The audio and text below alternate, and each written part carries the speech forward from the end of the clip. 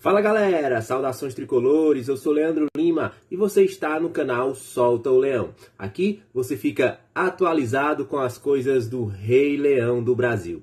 Tricolor de Aço às vésperas de mais uma Copa do Nordeste em torcedor. E o Leão entra com foco no tricampeonato da competição. O torneio neste ano estará na TV aberta, na TV fechada e no pay-per-view. O SBT manteve os direitos e terá exclusividade na TV aberta, com jogos transmitidos apenas para o Nordeste. Já na TV fechada, a ESPN também renovou os direitos, no entanto, fará transmissão para todo o Brasil. Fortaleza e Campinense jogam pela primeira rodada da fase de grupos da competição.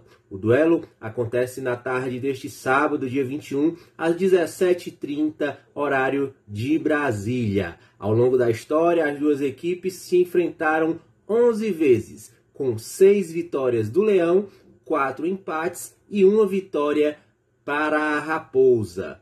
Lembrando que o Solto Leão tem o apoio de Clinitran, clínica médica e psicológica credenciada pelo Detran.